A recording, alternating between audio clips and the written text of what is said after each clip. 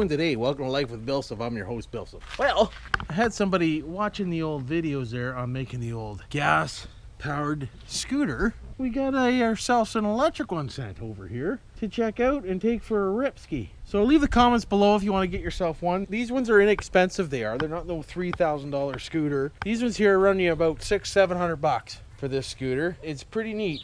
It's from Hurtle. Hurtle is a company that sells these scooters on Amazon and other places, but they're like I said, they're inexpensive. They're pretty neat. So we're just gonna go over it real quick and I'll show you and tell me what you think. Why wouldn't you? Right off the get-go, I see it has a USB charger for your phones or whatnot. So if you want to charge a phone, you can. You can change it either mile per hour or kilometer an hour. This is your battery indicator. It has three speeds. So we got low, medium, high speed. So it's just one tap, changes the gears. It also has Bluetooth connectability, so you can Bluetooth your phone to it, and then you can see where you've been on the map and judge your distance and everything else like that. If you double tap this, it turns on the headlights, Jim. It's got two headlights in here. I call it one eye. That's what I'm going to name the scooter is one eye, by the way. Dirty old one eye. It's got a brake light at the back, and if you hit the brakes, it flashes. So that's pretty friggin' neat. What else? Charge cable is on the side. Right there, if you pull that down, that's where you charge it, Jim. See right there? Decent. One thing I did notice though about it is that's a little bit loose right there. So we're gonna have to check that out because that makes me nervous being a 240 pound dude. Eh? But it's got the throttle and it's got a bell. Decent. And it's also got the old uh, brake lever. This here didn't come with it, of course. This is mine. I ordered this for Dick, but Dick's not running right now, so that's why I ordered that. It's a 36 volt cart and the motor is in the wheel in the front. Front wheel drive, Jim. But what I'm gonna do is I'm gonna get on here and I'm gonna take you for a little uh, gander and whatnot and see how you like her. But we'll turn the headlights off because we don't need them right now. Oh, it also has when it's on, it also lights up blue on the side. And that's probably so if you forget to leave it on, you can turn it off. Friggin' right, you can. So I'll mount this on here somewhere. Hopefully it doesn't get cocked over. And well, you're gonna look at my ass there. I can't have you there. Well, let's put you here, and you can see how fast it really goes. You can. So it claims it does. What is it? 16 miles an hour on high speed, or 30 kilometers an hour. So we're gonna start off. Oh, I turned the damn headlights on, Jim.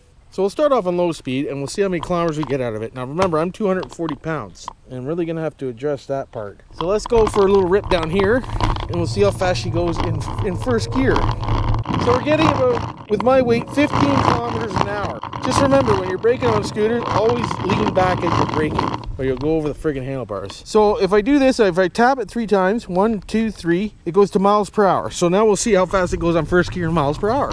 My bad. My camera's in the damn way. Hold on, boys. Girls, peoples. We're getting about 9 miles per hour in first gear. We still got full battery, so we're good there. So let's switch it back to kilometers an hour in second gear. There you go. We're getting about 23, 24 kilometers in second gear. Miles per hour. There you go. 16 miles per hour in second gear. Third gear doesn't have much of an incline, just so you know. So there you go. Red's, red means Danger zone. so we'll go back to kilometers and let's try out the danger zone. There you go, 31 actually. 31 kilometers an hour is pretty friggin' cool. So there you go, it's right on the money. It's 19 miles per hour. So that's friggin' hauling ass, Captain.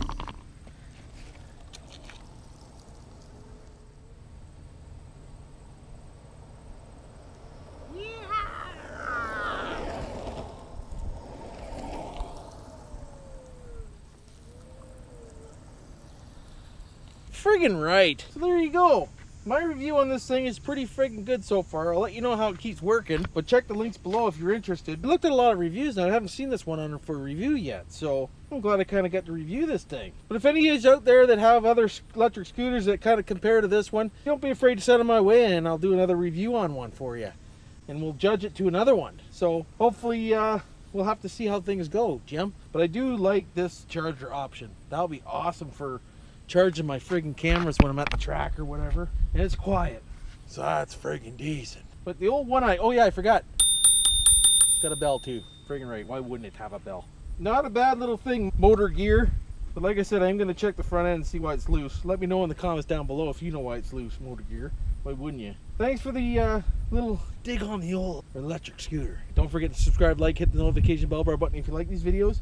And don't forget to tell them Dirty Old Bills have sent you over. Oh, and I forgot to tell you one more thing. It does fold, Jim.